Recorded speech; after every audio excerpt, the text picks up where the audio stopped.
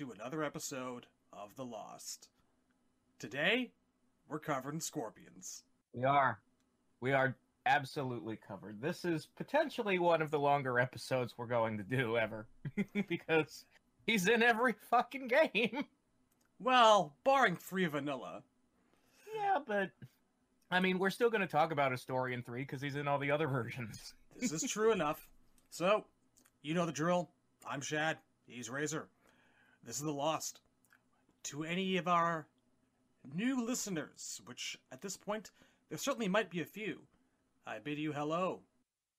The Lost is partially sponsored by Test Your Might, a bunch of awesome people on the interwebs who uh, concentrate heavily on the gameplay side of things, but nevertheless, they're kind enough, or at least like Icariptus is, to put up little editorials and host our stuff over on their website, and so very Mhm. grateful for that.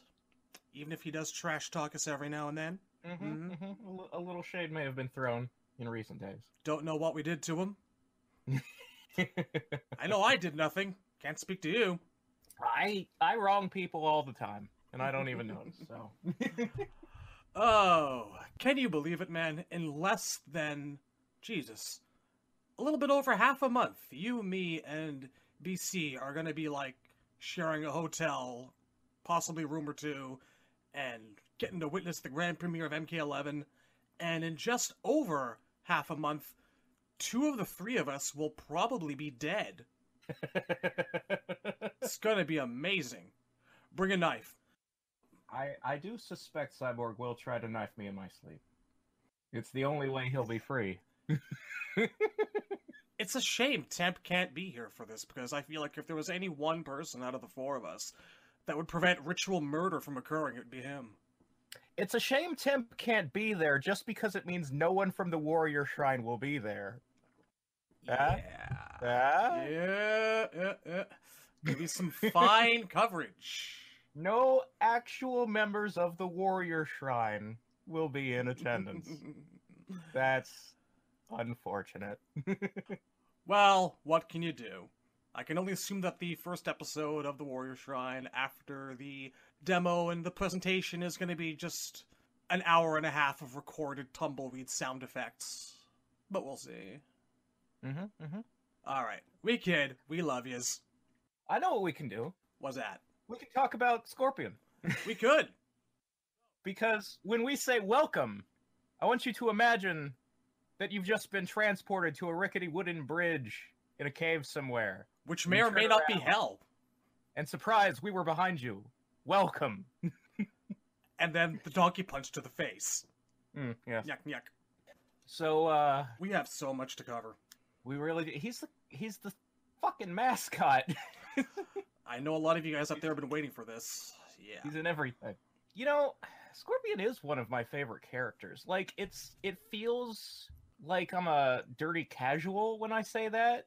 Like like what kind of person's Scorpion or Sub Zero? You know, those are the those are the guys that the people who don't play the game recognize. Well, everyone wants to appear like they're underground, but just because something is pop doesn't Yeah, necessarily no, make it's it bad. it's a hipster thing. and Yeah. I, that's the problem.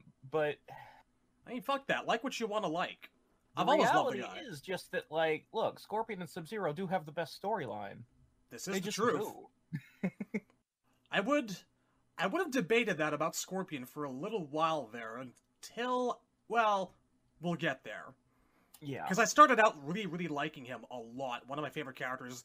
Then he just kind of got boring and stale for a little while, but they managed to really make him interesting once more. I found. I've always found that like there's this back and forth with Scorpion where his status quo keeps changing and then reverting and then changing and then reverting. And I really, I know exactly what you're talking about, and I hope that for all that is holy, they don't go that route in Eleven of making uh, the blood feud a thing again. I, I like to think that they're over that. I I really hope so. I have I have concerns which we will get to when we get to MKX, but let's start at the beginning. As you do. Once upon a time, there was a man named Johnny Blaze. and then there was a man named Al Wilson. Simmons. Al okay. Simmons? Uh, Al Simmons Yeah. is Spawn. Alcim, yes. Alcim and is a spawn. You go from Ghost Rider to Spawn. You throw in a little bit of GI Joe. and you're covered in bit of, scorpions. uh, 80s and 90s kung fu B movies in general. mm-hmm. Mm-hmm. Little And bit of you get Storm Hanzo Shadow. Hasashi. Yep. So, I mean, we could start with MK1, but story-wise, Mythologies does come first. I kind of feel that we have to, in order to actually set this up properly, we should cover his brief appearances in mythologies first and foremost. Right. Right. So, uh, the interesting thing about mythologies that not a lot of people know is that it has the most dense amount of story in any game that was released in the 90s. And the problem with that is this text isn't actually in the game. It's in the game's instruction booklet, and then there's an even longer version of it that was on the game's website and you can only get to the website through the Wayback Machine now, the web archive. I should really go and like archive that page for my own personal use in case like the Yeah, Wayback Machine I have- goes down. I have all that text saved on my hard drive just in case it ever disappears. Good But stuff. but uh, what mythologies gave us was the backstories to the Lin Kuei and the Shirai Ryu ninja clans. So obviously the Lin Kuei came first, and they're not technically ninjas because they're located in China. They are a clan of assassins. They accept money from rich people, and in exchange, they steal something or kill somebody, whatever they were hired to do. Did they specify at that time, or was it later uh, clarified that they stole babies during the night to make them? Uh, Uh, it was in that as well that the Lin Kuei, their specialty is having members who have superhuman powers, and the most often way they find these people is by they'll locate someone out in the world who has powers, and those powers are usually passed on to their children. So they'll kidnap the kids, and then they have like somebody young and impressionable to indoctrinate into the ways of the clan. I believe that they also made mention of also using scrolls and magic sources derived from Outworld. True. Uh, it's been a while. Maybe I don't remember that exact. What I remember specifically is that in mythologies it said that the Lin Kuei's magic is usually uh, genetically inherited. That every member who has powers is special because of their powers. Mm. That you can't just teach these to everybody. But they did have some teachable uh, magic and techniques because what happened is so back in the feudal era, the 1400s or so, uh, there was a member of the Lin Kuei who was from Japan, and his name was Takeda. I still wonder if Kenshi's son is named that on purpose or if it's a weird coincidence. I tend to think it's in it's on purpose. I'm pretty sure that one of the reasons that they don't like officially put out their own kind of lore Bible is that they have a lot like secretly written down and they have in-depth notes about who comes from what and what goes where. Mm. That doesn't mean that they don't retcon things when they need to, but I hope so, but I kind of doubt it. I get this feeling they're making it up as they go. Yeah, that's a bit pessimistic, I think. Eh, they they've given me a reason to be a pessimist in a couple past games, but we'll get there. So so the original Takeda was a member of the Lin Kuei, but he was born in Japan. So at some point in time, he quit the Lin Kuei and moved back to his home country, and he started uh, selling his talents for his own profit. Like the local shoguns would hire him to assassinate or to train their troops. And so he took uh, the fighting style the Lin Kuei had taught him, and he started selling it as though he had invented it, calling it ninjutsu. So Takeda is the inventor of ninjutsu, but ninjutsu is ripped off from the Lin Kuei. And of course, the Lin Kuei were not particularly happy about Yes. And eventually Takeda even started his own clan, and that's the Shirai Ryu. So ever since, the Lin Kuei have hated ninjas, especially the Shirai Ryu, and this is also the reason that leaving the clan is now punishable by death. It was specified in Mortal Kombat Deadly Alliance during the Conquest mode that the Lin Kuei eventually did catch up to Takeda and they poisoned his tea. And that's how he died. I think that's in mythologies too. Is it? Yeah. Alright. Yes, mytho- uh, Takeda was eventually assassinated, poisoned in tea. Anyway, cut to the present day, the Shirai Ryu are still around, and one of their best fighters is Hanzo Hasashi, who is called Scorpion because his specialty is the throwing dart, the kunai, which is kind of like, metaphorically speaking, a scorpion stinger tail. I believe historically the kunai were oftentimes coated in poison as well. Probably. They are assassins. Ninjas use poison. The my point in bringing that up is to establish that in the old timeline he was always called Scorpion. That is his clan given ninja code name because ninjas don't use the real name because if it got out who killed the guy, it's not very good assassin work, is it? You you want to keep your identity a secret. One would hope, yes. You don't want people hunting you down because they know you murdered this governor or politician or rich dude, whatever you did. So ninjas use code names. That's why he's called Scorpion. That's why Sub Zero's called Sub Zero and Smoke's called Smoke. The it's like a superhero thing. They need to protect their secret identity because the job they do would have people hunting for them. Obviously. So I actually kind of wonder if the same thing applies to people who come from Edenia or Rain's name is actually Rain. Rain's name could actually be Rain. I mean, there are people named Rain. Rain is one of those words that parents think sounds pretty, so they give it to someone as a name. Well, assuming that uh, their daddy, named Taven and Daegon, he sure didn't name Rain. Yeah, I don't, I don't know that Argus had a lot of hand in um, Rain's upbringing, considering he's a bastard child. yes. But anyway, Scorpion. We named him that um, because he was found in a storm, abandoned, right. across the street from a church, in a dumpster. Sorry. So anyway, Scorpion, like I said, the Shirai Ryu, they don't have superpowers like the Lin Kuei do. Takeda did have some uh, learnable magics to teach his ninja clans. Probably stuff like, you know, disappearing in a puff of smoke. The traditional Yeah. assassin elements. Yes, the uh, the generic ninja magics you might imagine from various video games and cartoons and anime and whatnot. Disappearing, leaving a trail of afterimages in place. You kind of get that with the teleport uh, punch. Right, but but nothing compared to cryomancy or teleportation for real, like the Yes. Lin Kuei can do. They're they're genetic gifts. They're mutant superpowers. That's that's really what I'm trying to get across here. Is John Tobias thought of the, the world of Mortal Kombat as having mutants in it, and some of the Lin Kuei have these X Men powers, but the Shirai Ryu are all normal human beings. So, come mythologies, uh, two years before MK1, Scorpion is hired because he's the best fighter in the clan to steal a map from the Shaolin Temple by Quan Chi. Not coincidentally, a certain blue ninja has been hired to do the same thing. Because Quan Chi wanted insurance. He wanted to make sure the map gets stolen, so he hired two different people to do it. These days, yeah, it's kind of uh, implied that he actually always set things up for one or the other one of them to die, or both of them eventually, to have his own personal assassins. You don't hire rivals and not know that they're rivals. Yeah. Like, he wanted these two to fight, and he knew Scorpion was going to lose the fight because one of them has powers and the other guy doesn't. Eh, it's a bit of a simplification. They're both really plainly incredibly skilled martial artists. It's just that one guy freezes stuff. That's it. That says a yeah, lot. Yeah, but the freezing stuff is really, really good. Yes. So Sub Zero and Scorpion fight, and at the end of the fight, Scorpion is beaten and he drops to his knees and he actually begs for mercy. Yep. And the thing about Sub Zero, B. Han, that you need to know is this guy is a veteran of the assassin game. Yeah.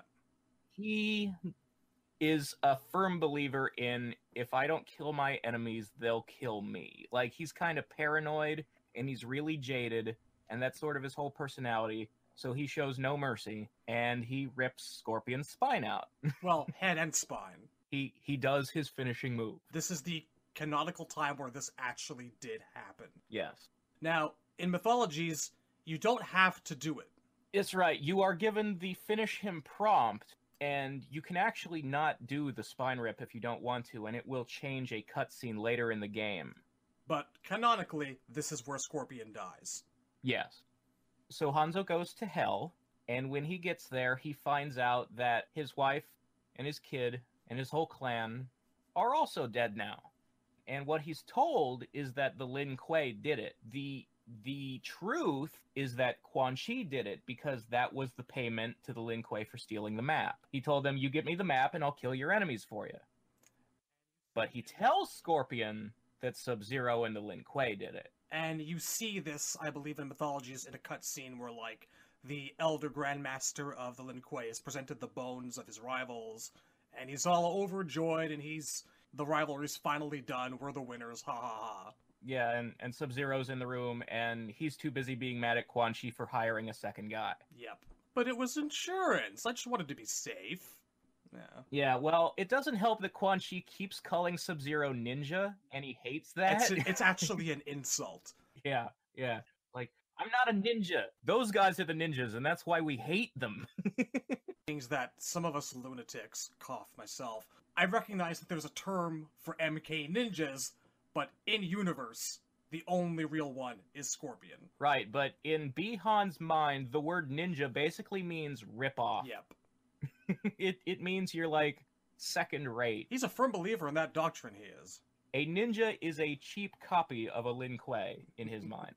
And Quan Chi keeps calling him ninja the whole game, and like with a smug grin on his face every time because he knows Bihan hates him. And he really emphasizes it, ninja, over and over again. I- I wonder if that was also the staff trying to get people to avoid calling them ninjas. To try to maybe blur the lines a little bit and not have such a clear cut depiction of a group of palette swaps, you know? Well, Tobias always knew what he was doing because if you read uh, Sub Zero's MK1 bio, it doesn't call them ninjas. Mhm. It says Chinese assassins. It might say ninja like assassins, but he always specified they're from China, so they're not ninjas. At this point, though, it's like talking about Shotos, except this is in terms of aesthetics and not in terms of gameplay so much. Right, right. Because, like, you know, Rain and Reptile are from an alien planet, but they're ninjas too. They're all just really, really good at martial arts. Just leave it at that. And they have similar tastes in aesthetics. I mean, they, they are all assassins by trade. Sure, we can group them together like that, but then you get into like the side characters, like the side groups. Like, what do you call the female assassins, or you know, the then you get into oh, cyber ninjas. Kitana's a ninja too. Everyone's a ninja. but anyway, Yes. So, if you did kill Scorpion as a gameplay thing in Mythologies, then later in the game, Sub Zero ends up in the prison in the Nether Realm. And if you killed Scorpion, you're put in the same cell Hanzo's in. And he pops up and he's like, You killed me in cold blood. And at this point, he's wearing the outfit that we would pretty much come to associate with him strongly. The kind of ultimate yeah, it's MK3 the ultimate look. MK3 outfit, although he has the MK2 mask on, just like in the MK in the MK11 trailer. That's like, actually, the MK11 trailer is the first time that we've actually seen that specific combination for quite some time, I believe. But anyway, uh, so he's like, "You killed me in cold blood," and then and then he says, "You also killed my wife and son and my clan." And Sub Zero's like, "No, I didn't." And Scorpion's just like, "Liar!" and he fights him. Now, at the same time, I do remember that there's a bit of consternation about whether or not their fight in the Netherrealm is actually canon or not.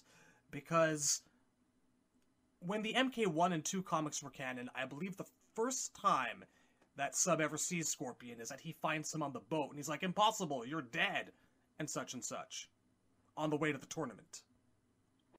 I mean, that it still works because this fight is taking place in the Netherrealm. Sub Zero should not be surprised to see a dead man there. That's fair. But as I recall it, the scene that you see if you spare him, where he's just talking Yeah, to if- Shinnok, if you let him live, then th- when you're thrown in the cell, Shinnok is your cellmate, and he he you don't know he's Shinnok, or at least Bihan doesn't know, and he acts very kindly and like a, a nice old man, and he's just kind of says this cryptic stuff about how he's he's only in this cell until he's done playing Raiden's game, and then he like mysteriously disappears. And I actually like that scene better of the two. for me, it just makes a lot more sense that if if you if you did want to keep the MK1 comic as your personal canon, it makes just a lot more sense to me for Sub Zero's surprise and, and his shock to see him for the first time on the boat again after so long. But it does it does work either way. The other thing worth mentioning is okay, so the first time you fought Scorpion in the Shaolin Temple, when he was still alive, he didn't have any special moves. And when you fight him the second time in the Nether Realm, he has the spear and he has his ultimate MK3 axe combos, and I think he has the teleport punch, but I don't remember for sure. Pretty sure he does. He might already have his Spectre powers at that point then?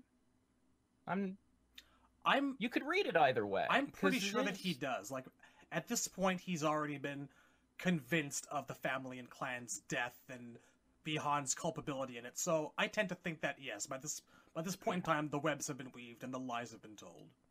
I mean, I mean, the thing of it that is, I guess, weird for me is that the spear was something he could do when he was alive. It didn't come out of the palm of his hand like it does now. That's a supernatural thing happened to him when he died, but it's just weird that he couldn't throw the spear when he was alive, because that's where his name comes from. Maybe they just really wanted to be certain that the player was going to win that first quote unquote boss fight. I guess. But I just take it as for granted that he that he always could. Like I was saying earlier, whenever he te- whenever he does a teleport punch, like he leaves an afterimage behind, and that's like a very typical ninja thing to do. Well, it's it. You could read it as like a ninja trick. I always read it as like a ghost thing. I think it can be both. And then, of course, later games have added fire to the teleport punch. Yeah, they've added fire to a lot of things. Most things. I'm okay with that. We'll get there. It's an issue that I have. I think I've mentioned this to you before. But uh, the other thing I wanted to mention, uh, p- particularly about Scorpion, uh, his modus operandi being throwing a rope dart, is that the name is actually the name of a Japanese martial art that focuses on thrown weapons like shurikens and darts. So that's where Tobias got the name of the clan from. Well, shiver me timbers and blow me down. Learn something new every day with you, man. I mean, it's it's hard to find that information now because if you Google Shirai Ryu, you're mostly only going to get Mortal Kombat pages. But if you had searched for it back in the late '90s, you would find out that it was the name of a martial art. Ah. so once you beat Scorpion in that prison, assuming you do confront him, he just sort of disappears in a puff of smoke and fire, and that's the last and then mysteriously, the di- door to your jail cell opens, and you get to run out into the rest of the level. Good luck with that. and just a brief note here about that particular fight. It is like the only time you ever have like a specific fight theme, I think, for Scorpion and Sub Zero in the entire original timeline. And it's Hmm. really, really badass. like, I put the Mortal Kombat Mythologies uh, score up in my top 10 MK scores of all time. It's pretty dated at this point. It's got kind of like a homebrewed synth sound that I'm pretty attached to, but yeah. yeah, it's it's very like um, sort of unobtrusive industrial. Yes. this might be why I like it. I mean, the game came out in 1997. It was the Nine Inch right Nails time. Was a thing. Yes. Rammstein was a thing. there, that was sort of the vibe of the day. So yeah, And Mythologies is a very sort of industrial gothic game very true. because it because it deals with uh, the Netherrealm and John Tobias's particular vision for the Netherrealm was very mechanical. It he had he has this whole story going on about how Shinnok wants the Earth so bad that he's trying to make Netherrealm look more like Earth. So there's a lot of uh, machinery. It's very like factory and warehouse themed. It's all very kind of It's very Doom. smoggy and There's spotlights and searchlights and guards with laser cannons. And I actually, I've said this before, I think. I, I really miss that version of the Netherrealm. And I hope to see I- it again sometime, but I mean, what we know that there are multiple planes to the Nether Realm, and that we see the fifth the most often, and the fifth is based on the Scorpion's Hell stage from Ultimate MK3. Yeah. But I like to imagine that the prison still exists on like the first layer where you can see the sky. Yeah, me too. I just kind of hope to see hints of it and going back as far as Deception, and it's never popped up. It would be nice. There were there were touches of the like the sci-fi tech aesthetic in Shinnok's Tower in Armageddon Conquest, Mm. Yes, I, I liked that. that now.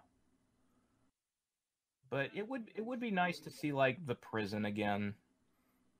I'm sure we will one of these days. If it's the stage, if not the entire background and industrial hellscape. Yeah.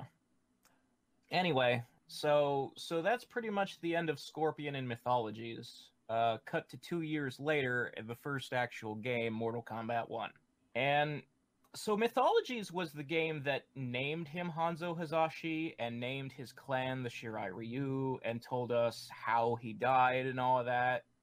In MK1, all we really knew was that he's a ninja, he's from a clan that are rivals to the Lin Kuei, and Sub Zero killed him. We didn't even know that his wife and kid were dead yet at this point in time. His ending actually kind of implies they're still alive, but he can never see them again because he's a zombie guy now. Yeah, they hadn't specified them particularly as being dead just yet. Yeah.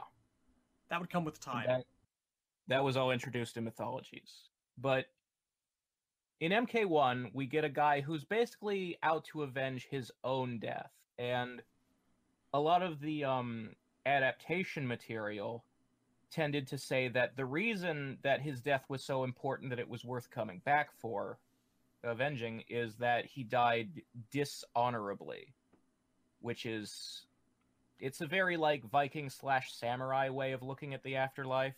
That like you get the good heaven if you die with honor, and you go to hell if you die with dishonor. And in in Scorpion's case, we do kind of see that in mythology still. Like he died on his knees begging.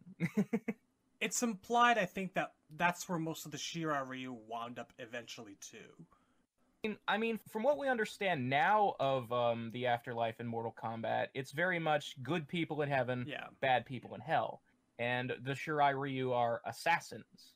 You know, they kill people for money. They're bad people. And there is there is actually a little bit of backstory from mythologies that I kind of skipped over. Is that Scorpion, the way he joined the clan, is that his dad was a Shirai Ryu ninja. Uh, and this is like a parallel to uh, Sub Zero's backstory, where uh, Bihan and Kuai Liang's dad was also a Lin Kuei, except uh, Sub Zero's dad sort of abducted his own kids and forced them to join the clan, like took them away from their mother and made them join the Lin Kuei. Whereas Scorpion's dad said, I don't want this life for you. Don't become a ninja. Don't kill people Right. it's bad and scorpion's whole thing is like i have to i have to make a living i have to provide for my family my wife and kids need to eat so i'm going to be a ninja so it's an interesting uh, reversal where like the sub zeros didn't want to be ninjas and scorpion became a ninja against his father's wishes It's nice. They could have just as easily gone on a cycle of violence tangent where one of their dads killed the other one's dad and made it a bloodline thing, but I'm relieved that they didn't go down that path. So so what you've got is this um morally uh Bihan is a guy who was raised in this life of killers and it was forced on him and it's made him very bitter and cynical and he's sort of paranoid about his own survival and that's why he's uh, a killer an unrepentant murderer is because he feels like he has to or else he's the one in danger Kuai Liang who's younger and hasn't killed as much is very much still against killing. And so when we get to MK2, Sub Zero doesn't want to kill people unless he has to. Scorpion is this guy who kills people, but he thinks he's doing it for a good reason. He sees himself as like a good man, an honorable man, and he's not, and that's why he goes to hell when he dies yes, he is still a murderer. but he here. still he still thinks of himself as doing the best he can do.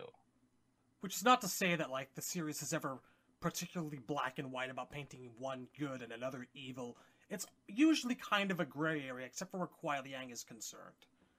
Yeah, yeah, I would say that like both Scorpion and Bi-Han there are there are grays there, and I, I I guess Scorpion is the more good of the two, but he's still not. He's still closer to neutral. Yeah, Bi-Han has the capacity, or he had the capacity, to turn his life around at one point, but he just never. So back to our boy. Right. So so Scorpion MK1. He is uh allowed to leave the Nether Realm. He is given his Spectre powers unless he already had them in mythologies. And he is the game specifically refers to it as reincarnated as a Spectre. So I find that interesting because there's especially with like the Revenants and MKX, there's kind of a talk about are they still undead? What what is a Revenant? Cuz like they have physical body. They are technically alive. And so Scorpion Scorpion has risen from the grave in like a new body. It's not the one he died in. That one's probably buried somewhere. And he has superhuman powers now. His spear comes out of his hand. He can teleport. He can breathe fire, you know, peel his face off and it's a skull. It's like a human body. It's not it's not what the revenants have. No, it's it's similar because it's you know when in MKX when Raiden brings Scorpion, Sub Zero, and Jax back to life, the same process works on all of them, but Scorpion didn't have the pale skin and the yellow veins. He was a different kind of undead already. That's actually something that I wanted to briefly mention. If you look at the MK1 select screen, Scorpion and Sub Zero plainly have kind of a paler shade of skin than anyone else there. And I kind of took that to mean, eventually, when I first started playing the games and I became familiar with the, uh, character storylines and the lore, I took that to essentially mean that, like, Sub Zero was the way he was because, you know, ice powers, he's a frosty guy, what have you. This is my this was my child interpretation of it. But Scorpion, okay once, you know, it became obvious that he was dead, that's when I took his lighter, well, his paler shade of skin to actually be signifying. It, it's not that it actually matters that much because by MK2 they had normal flesh tone, both of them. Right. Well, I have to say, um, their sprite editing game was not quite what it was in MK2 in MK1 because on the select screen, Scorpion's eyes have pupils. That might have been a late choice, I tend to think. Well, if you look like because John Tobias was drawing him with the all white eyes that he's famous for in the in the official like the concept art and in the comic book. This is but true, like, but it might have been an oversight. In Scorpion's ending in MK1, we see him unmasked, and it's just it's fucking it's, it's, Pesina. Yeah.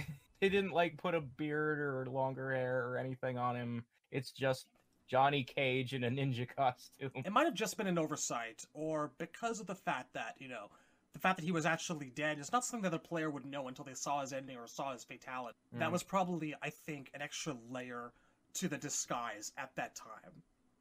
And once it's like publicly accepted and known fact that this is a dead guy running around on uh, in, on the living plane, you know, okay, take the cool points, remove the pupils, go with it, and I'm okay with that. Well, I wanna I wanna bring up uh, the thought of unmasked Scorpion just in general because there are people who uh, think that Scorpion actually doesn't have a face when he's undead. That when he peels off the mask, it's always the skull. And the only way we were going to see his human face is if he came back to life like he does in MKX. And I don't think that's true. I think Scorpion could have chosen to leave the skin on and shown his face if he wanted to at any point in any of the games. He just chooses to peel all the way down to the skull and breathe the fire. I tend to think it's open to interpretation. I like the notion of the face being part of the mask, which is blatantly more of a reptile thing, plainly. I've always enjoyed the thought of like there being no substance to the body, as it were.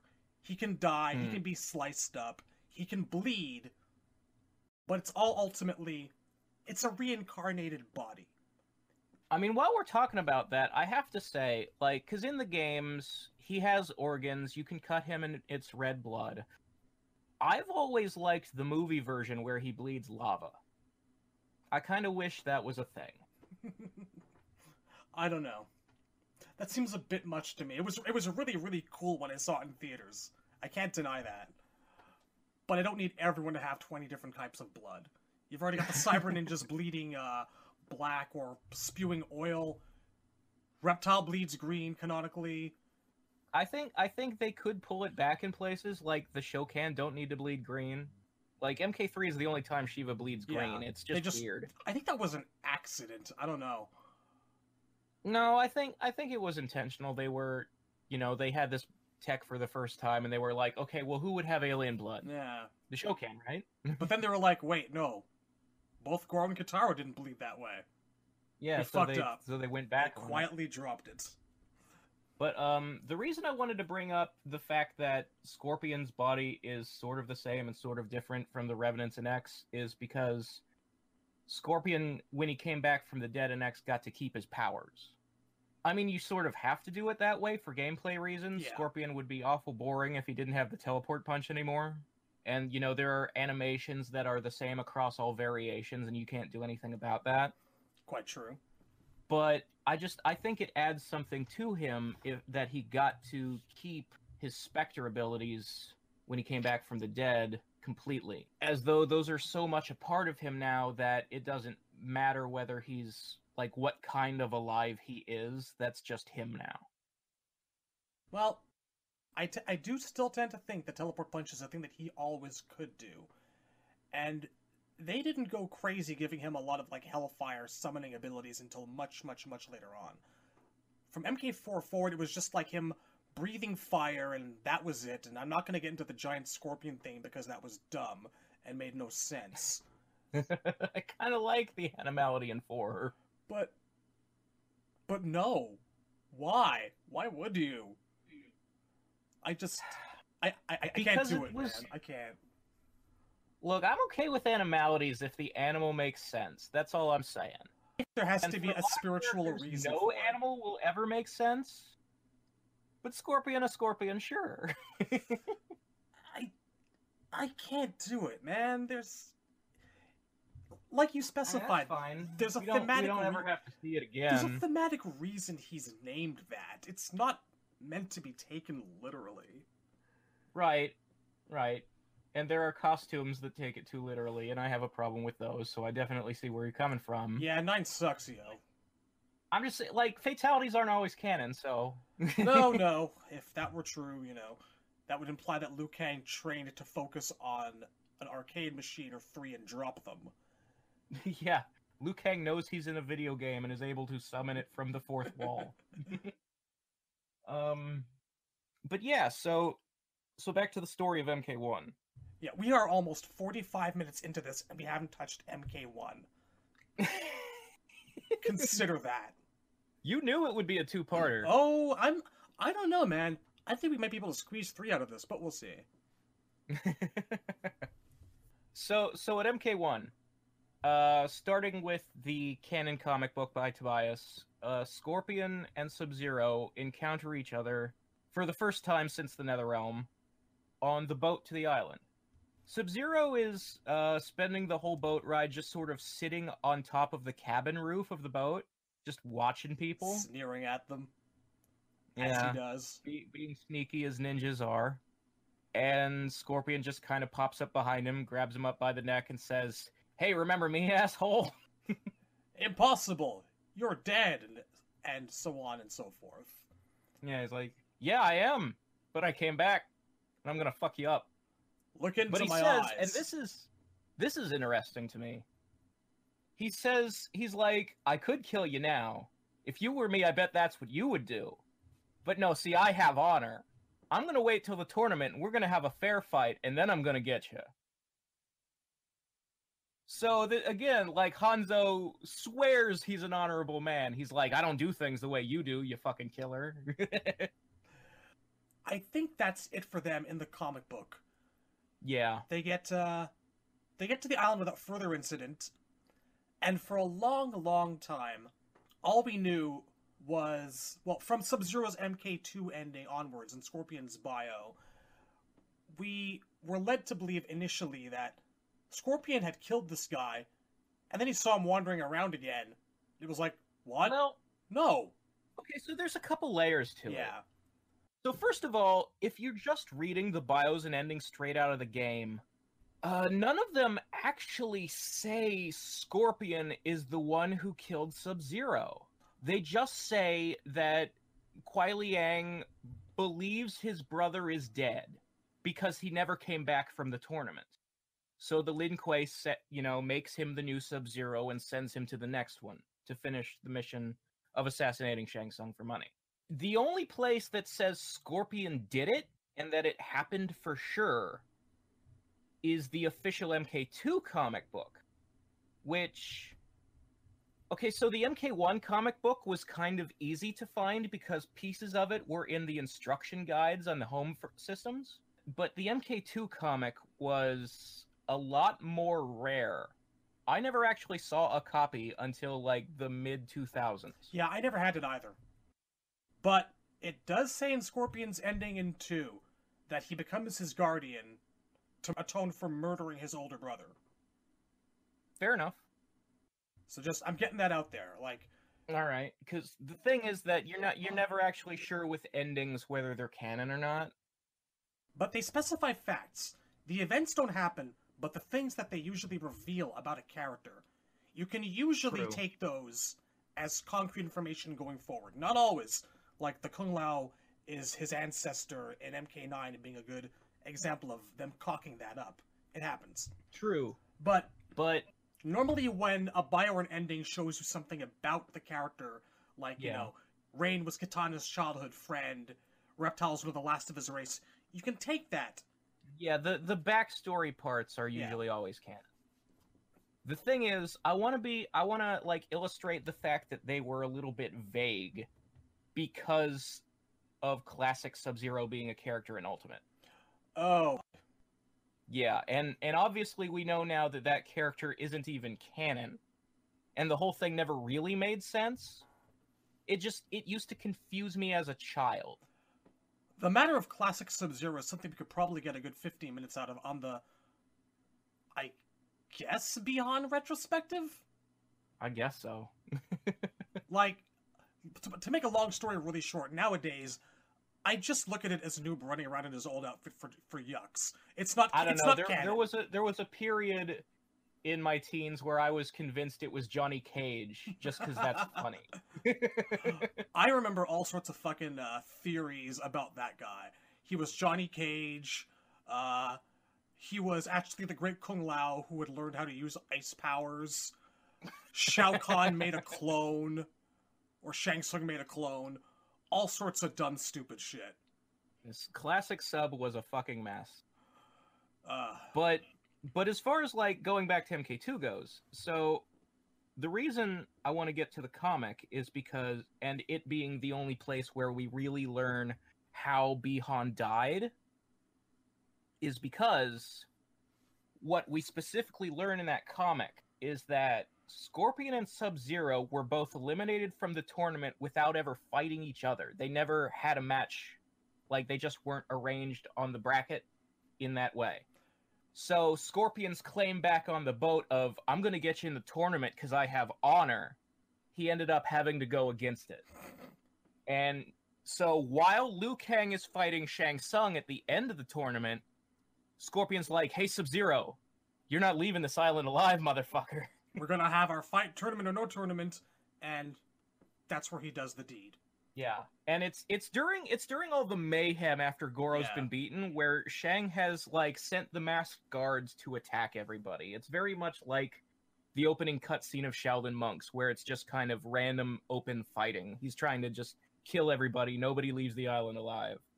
So Raiden can see Scorpion and Sub Zero fighting, but he can't stop them because he's taking care of the masked guards. And so, so Raiden is the only witness to Sub Zero's death and he tells Johnny Cage about it as he's saving him from the island collapsing.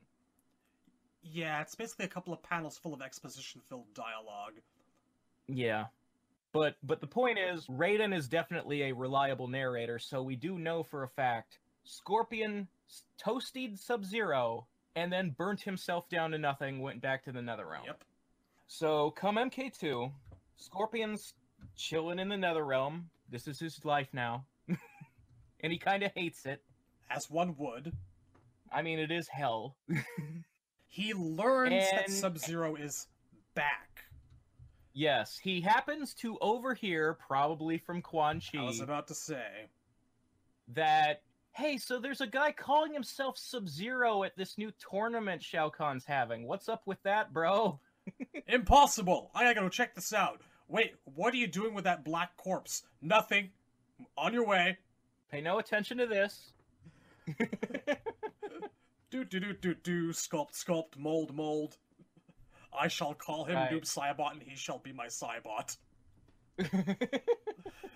Ah, Scorpion, Scorpion, Scorpion. So motivated by rage. It's a beautiful So thing. Scorpion gets to the tournament, and he's watching Sub Zero fight. And Sub Zero happens to not kill a guy.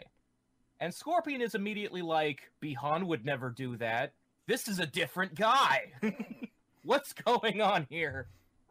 Now there are reasons for it. I'll get into those more, I think, in the uh, in the Bi-Han episodes. But I'm pretty sure the guy that spared was Reptile. Yes, and I've always assumed it was Reptile too. And it's interesting, even in MK9, he fights Reptile before he fights Scorpion. And lets him live on purpose. And granted, in the MK9 version, Scorpion doesn't see it and doesn't have the whole Bi-Han would never do that. You're Yeah. diff you know, he he somehow just automatically knows anyway. But we'll get to that. But I, I too have always assumed that it was Reptile for some reason. Because begging for your life just seems like a reptile thing. And it was also the MK9 uh, fact that he also fights him. You know, I figure parallels, right? I suppose. I always just assumed that it would be Reptile because the reason Sub Zero's at the tournament is to assassinate Shang, and Reptile is Shang's bodyguard. Yeah, that too. Exactly. So I imagine that before he can get to Shang, he'd have to fight Reptile. And a brief note about the way that Scorpion kills Sub Zero or or kills Bi-Han, the place where it occurs. As much as I like how MK9 builds up the hype and the drama about their final confrontation, I don't care for the fact that he brings him to hell to do it. Yeah. I always just assumed that it was somewhere on the island, like the Palace Gates or Goro's Lair. Like I figured pretty much that. It was like the pit or the palace gates, somewhere nice, open in public where like people could see yeah, shit I mean, we know down. Raiden was there in this version, Yeah. and he was fighting masked guards and shit. Like, they were definitely on the island. So in the original timeline, he Scorpion didn't bring Sub Zero to hell to kill him. That's an MK9 thing. Just wanted to make that little uh, differentiation. They don't actually say this, but I always assumed that in MK2 the reason Smoke is fought on Goro's lair is because he was on Shang's island looking for proof of the death, like he was trying to find Bi-Han's body. I think that was probably what his mission was that the Lin Kuei sent him to do, because Smoke wasn't in the tournament. That's why he's a hidden character. Well, like we were saying, when we learn things about people, the smart thing I think to do is to always go back and apply as much as what we know to the original timeline or older characterizations as is possible to gain new insights. And just along with Sub Zero to find proof of his brother's death always made a lot of sense to me.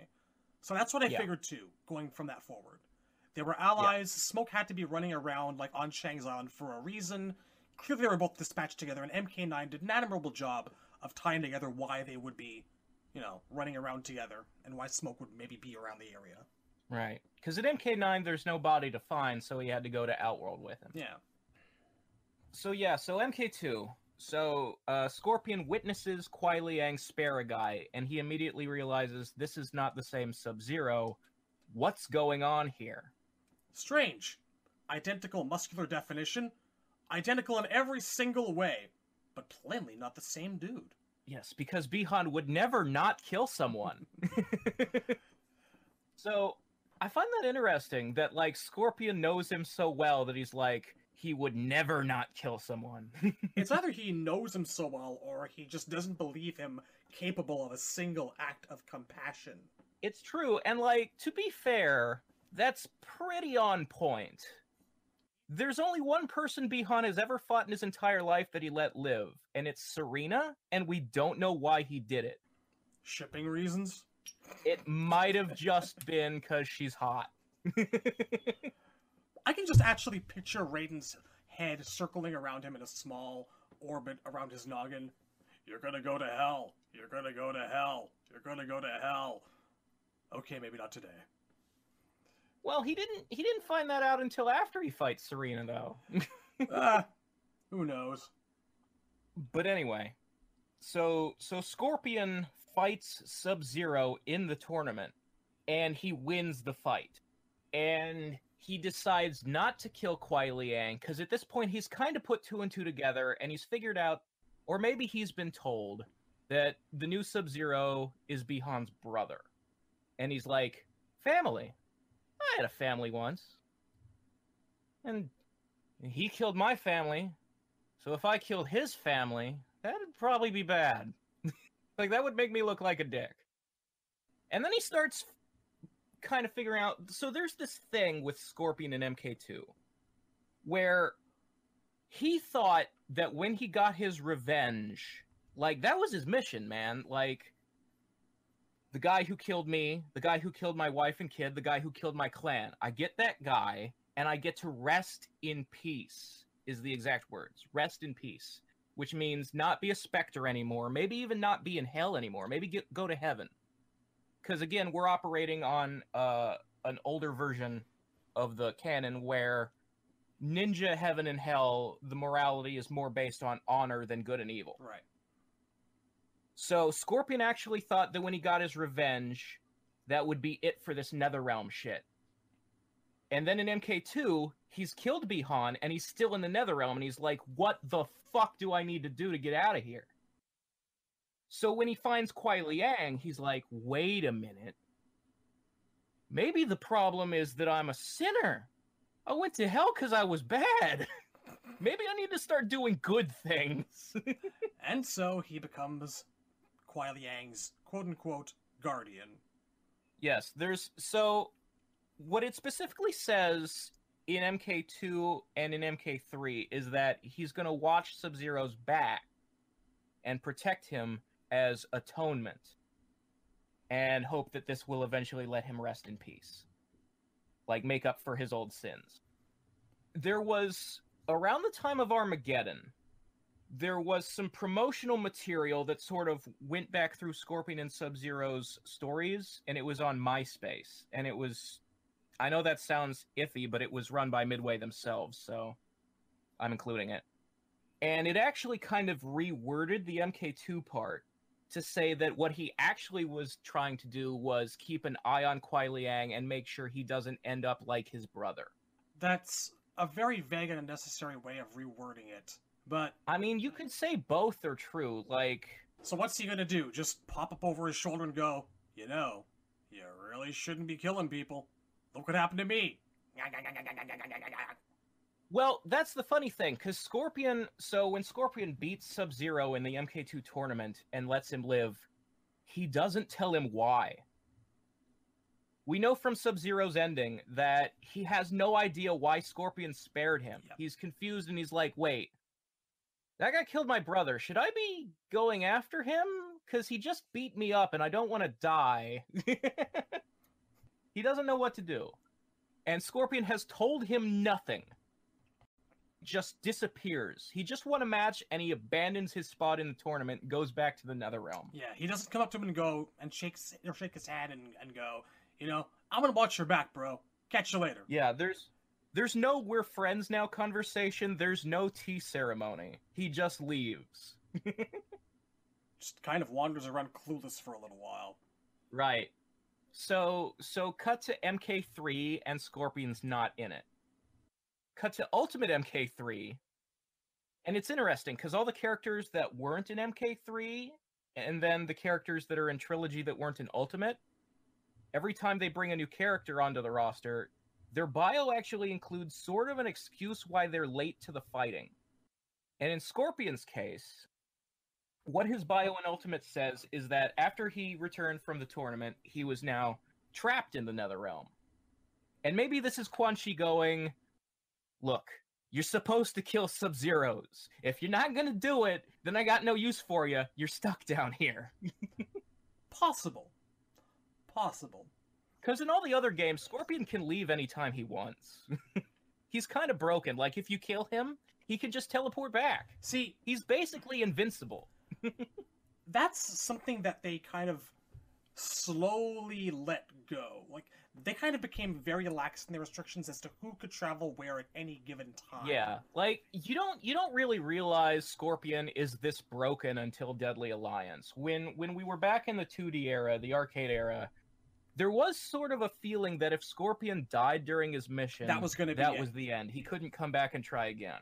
But eventually it just became portals known only to gods and sorcerers, and if he gets kicked into an acid bath, he's just gonna pop up again a couple of hours later.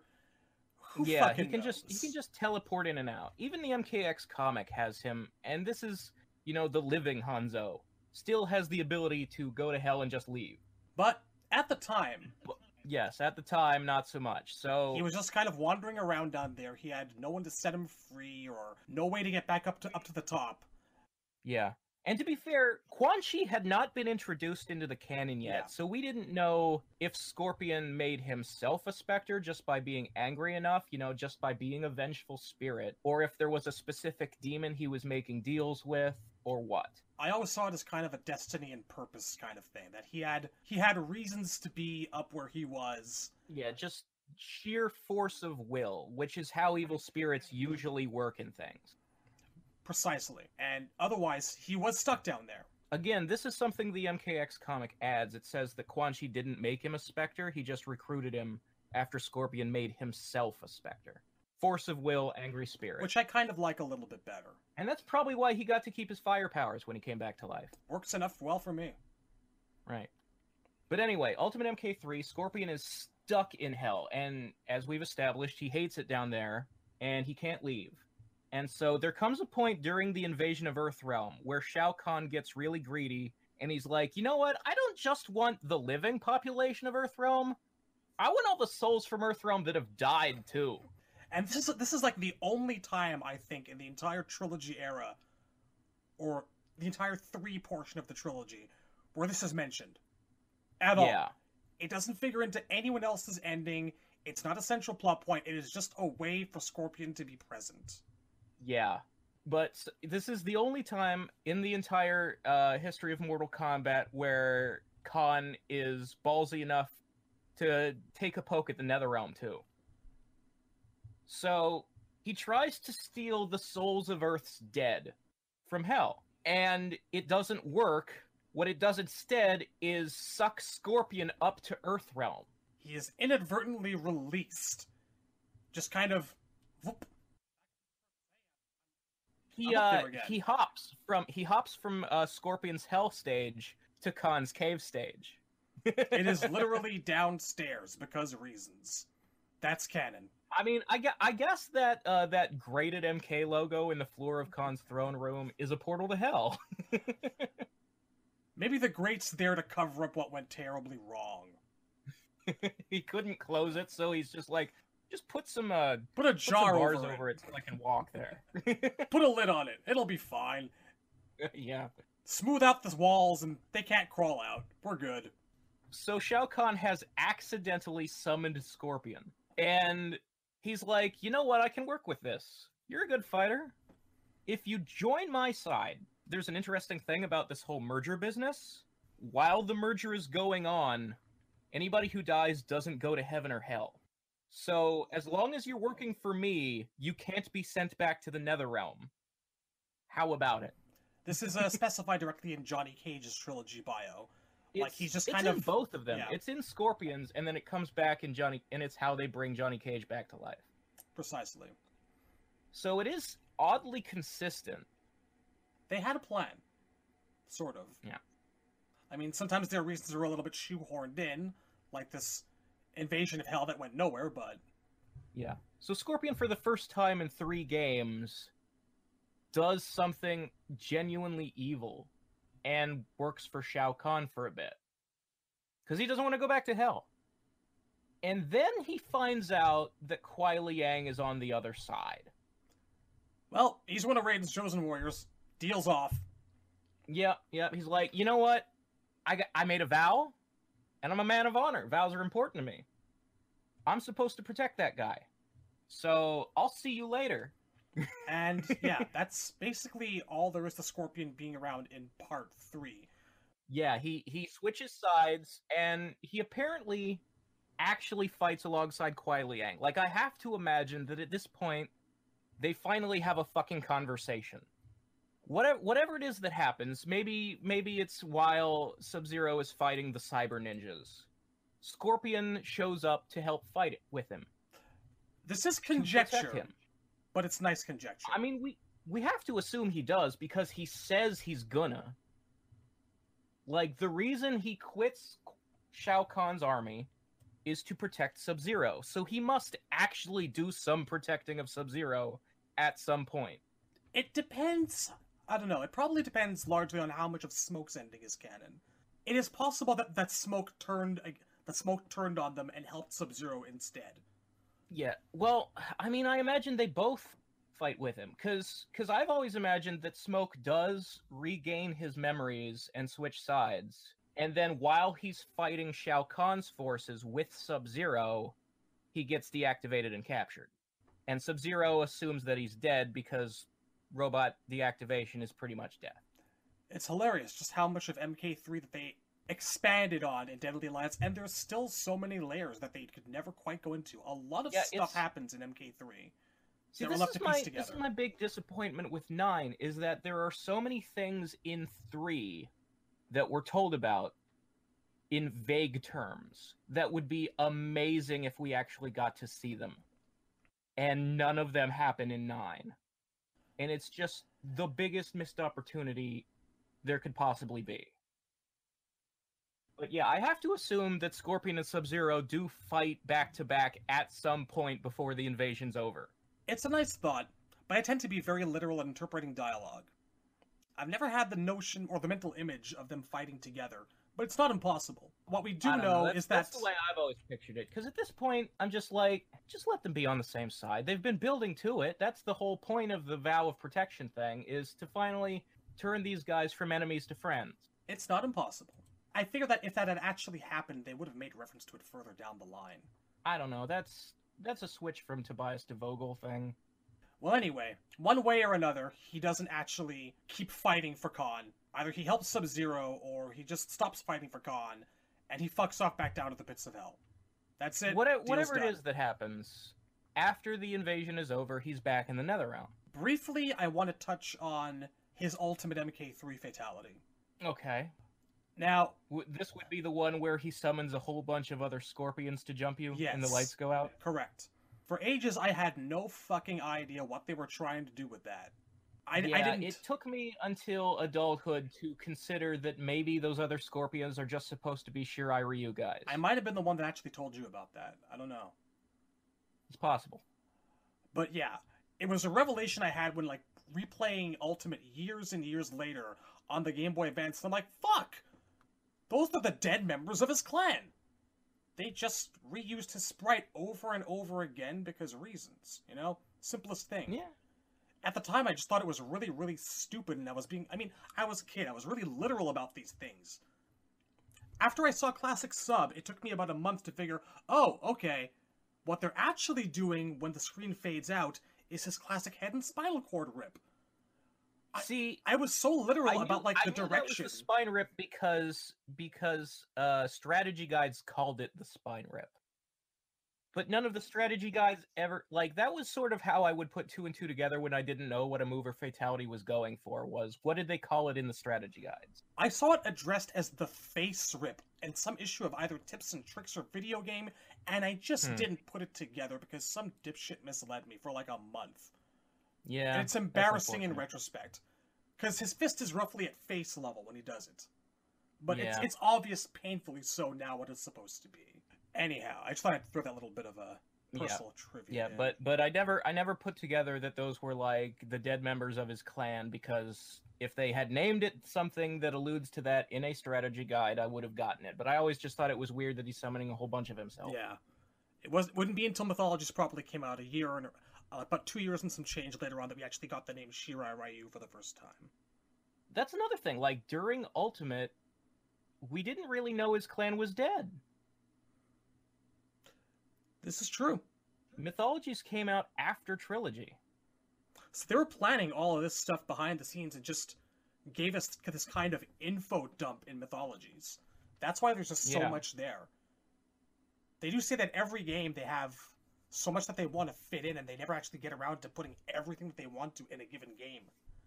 That's always why it's been sort of a bummer to me that Mythologies is thought of as like because the gameplay is bad, it's sort of a forgotten game or a derided game. It's if you're into the lore, Mythologies is actually the most important game. It's definitely up there. It's just a shame that it's so fucking tedious and terrible to play. Yeah, it is not it is not fun to play. Times I want to go back and just replay it and remember it, and all I remember is horror and pain and frustration. The the jumps in the wind temple, the pit traps in the earth. Ugh. I The mashers. you can't even get to the nether realm if you play on easy. It'll stop the game. oh, I forgot about that. Fucking pricks. Ugh. But uh, yes, MK4 rolls around. Yeah, so so in MK4, Scorpion's sitting in the Netherrealm as he always does, and we finally meet Quan Chi. Well, we met him in Mythologies. And he's like, "So Scorpion, you want to get out of hell, right?" Okay, well, imagine this for a second. What if Bi-Han killed you, but Kuai Liang was the one who killed your clan, and that's why you don't have your revenge yet? You ever think about that, maybe? Yeah. they don't specify that particular bit in his MK4 bio. He has ulterior motives. His main reason for being around is that Quan Chi offers him, like, life. If he if, Yeah, if- he if says- he joins up with him. fight fight in Shinnok's army, and we will release you from the Netherrealm forever. And it's in the endings that you get the true story that he was misled to think Kuai Liang was part of his revenge. And the thing about that is that Scorpion's ending in this game is canon. Mm, for once. Yeah, MK4 is the first game where they started doing multiple canon ending. Because before this, like in MK1, 2, and 3, the only guy whose ending could really be trusted to be canon was Liu Kang's. Everybody else, if there was backstory stuff in their ending, it was canon, but their ending mostly said, this is what would happen if this guy beat Shao Kahn. So you couldn't trust any of that. You just discount the he beat Shao Kahn part and you take the rest for what it is. Yeah. Usually. But MK4 is the first time where multiple endings in the same game are completely canon. You have here Quan Chi kind of punking them both and gloating over how he's managed to He's basically yeah. been been playing both of them since Mythologies. and he opens up his trap It, about it and gloats and thank you for beating him for me. He's not dead, but you've done a good job. Now I'm gonna send you back to hell. And so Seems a little premature. Yeah, you know, you figure he would have waited, but he doesn't. He's just that eager to start gloating and running his mouth. Yeah, like Kuai Liang's not even unconscious. He's just lying on the ground hurt. He's like, I'll take it from here. By the way, I killed your clan. Ha ha, fuck off. And this is one of those things that Nine would eventually fill in the blanks. When he did it, he did it disguised as Bi-Han. well, Or Quan. I don't know if even that is true. He sure. might have just been showing a fake uh, vision. Like all, that animated section that he shows Scorpion could have been a complete illusion. It's possible. Because cause in that vision, there's a whole horde of Lin Kuei riding horses. And I don't think Quan Chi can make himself into a whole bunch of people. ah, but fellow demons, perhaps. Maybe. I mean, he does have a whole Brotherhood of the Shadow at his disposal. I have to imagine Quan Chi, being as powerful a sorcerer as he is, could destroy a village all on his own. Possible. Especially if he's just setting it on fire mostly. But would he rather set it on fire himself, or would he rather laugh as people do it for him? Yeah, that's fair. But the point is, he opens his yap too soon. Yeah, Quan Chi pulls the classic bad writing in a Mortal Kombat game move and admits what he did. Nobody even asked. He just Yeah. volunteers the information. So he starts teleporting him back, and Scorpion looks down at himself and goes, Nope, this is not happening again. I'm not going down Scorpion alone. is so angry that he can resist the teleport long enough to run at Quan Chi and grab at him, so that they're both teleported. Congratulations, Quan Chi. You played yourself. hmm And they both end up down in the Netherrealm in specifically Scorpion's lair stage from Ultimate. And Quan Chi's reaction to this, to being in his own home realm, is to scream, No!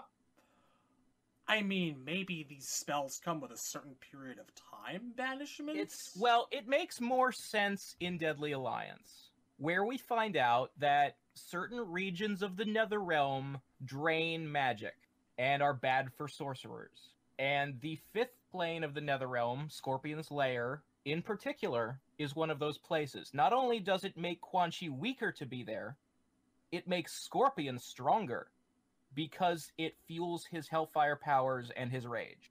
Which means that every time Quan Chi's had to speak with Scorpion, he's had to basically maybe open a portal in the Nether Realm to that other realm and kind of go, yo, come through.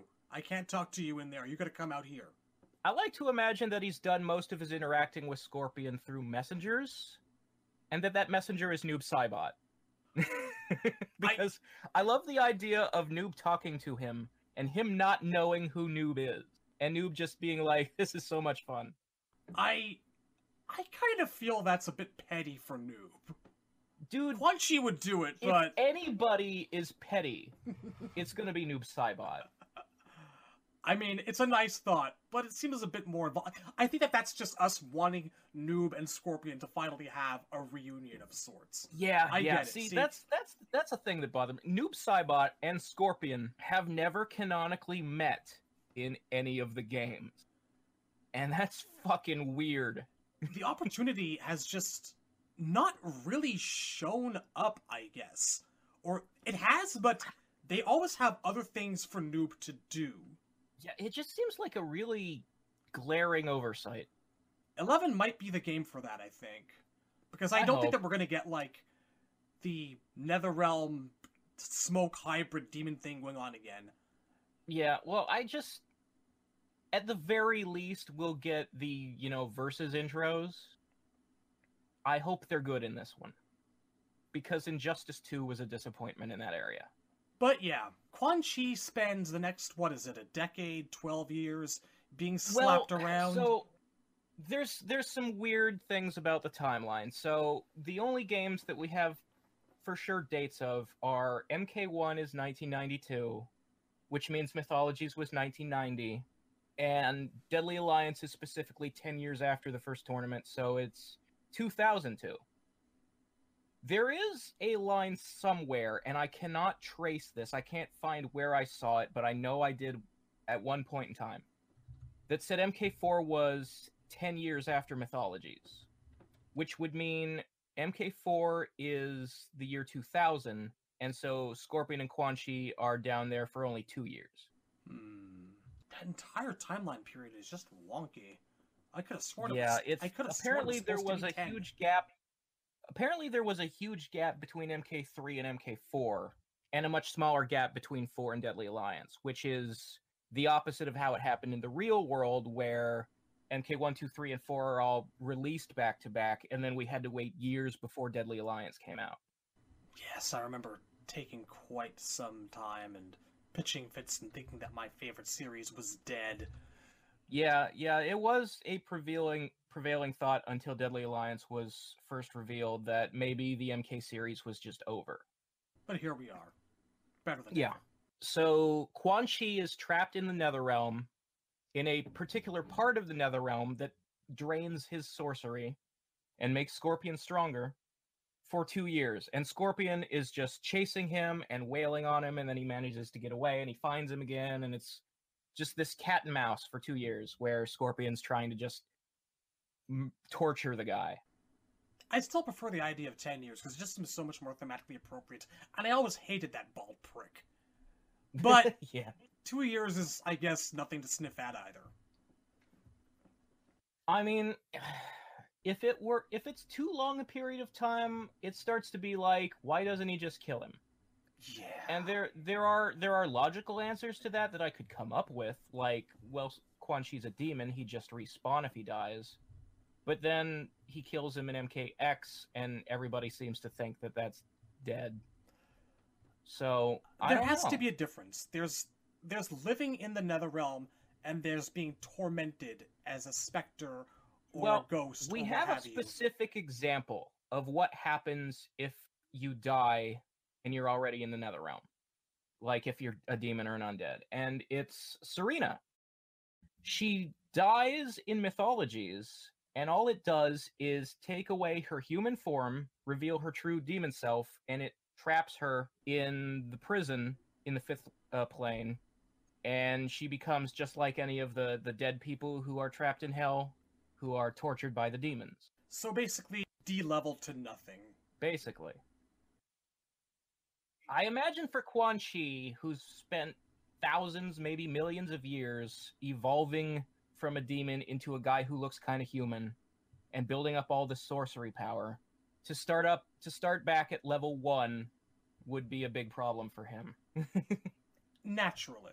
So we know that Quan, our favorite Desball faced bastard, manages to evade Scorpion at points for long enough that he stumbles on, you know, the portals and the. Well, what he finds first, he finds Drahmin and Yeah. Moloch, and Drahmin is the guy in charge of all the torture in hell. He is the Oni tormentor. He is the boss of torturing dead people and their souls and shit. And he's down in the fifth plane doing his job. And Quan Chi is like, "Hey, I'll cut you a deal. I'll get you and the big guy out of here if you get this scorpion motherfucker off my back and help me find a way to escape. And so Drahmin and Moloch are like, you know what? I think we might have something for you. And they show him this thing called the Rune Stone, which is a slab of rock hidden in the Nether Realm. Somebody put it there to keep it out of people's hands. A lot of a lot of magic items are actually hidden in the Nether Realm to keep them away from people. This particular slab of rock, the Rune Stone, is an instruction booklet for Shinnok's amulet. I don't know why this exists, but there it is. This helps Quan Chi because he happens to have Shinnok's amulet at this time. He's actually had it on his person since mythologies and has been keeping that fact a secret. when you're having your ass handed to you for a couple of years, you know, you clutch onto something. You keep hope alive. And to give Quan credit, I guess, he was always hopeful he'd find a way out, and to keep using that power. Mm-hmm. So Quan Chi reads the rune stone and figures out.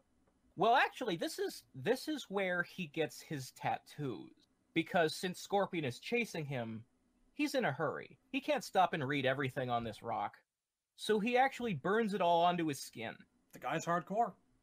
Yeah, and and this is why the fact that he has the tattoos in the new timeline is a big weird continuity error because MK9 is obviously way before Deadly Alliance. He shouldn't have tattoos yet. He shouldn't have the amulet on his belt yet. But that costume is reused assets, so whatever. uh so anyway, Quan Chi burns all the writing from the runestone onto his arms and head and back and stays on the run. And, you know, he's reading these instructions. He's like, oh, the amulet controls a bunch of portals. I can get out of here that way. Let me find one of these portals. And these portals are kind of hard to miss. They're shaped like giant versions of the amulet. Everything can be a MacGuffin if you just squint.